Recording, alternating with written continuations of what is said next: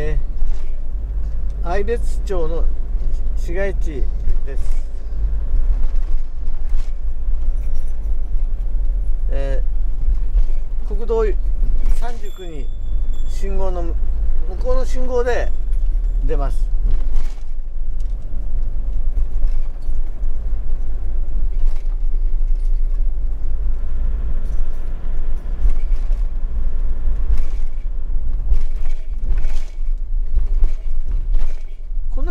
愛別町の役場とか消防とかですねあるのかなって。あ役場ですね。左。そして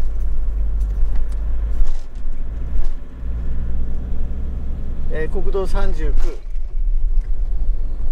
左行って上川町北宮ずっと行って網走。途中で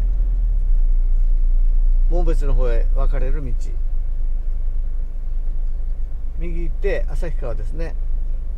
でせっかく来たので今愛別に来ているのでえーまっすぐ行ったら愛別駅があるんですね。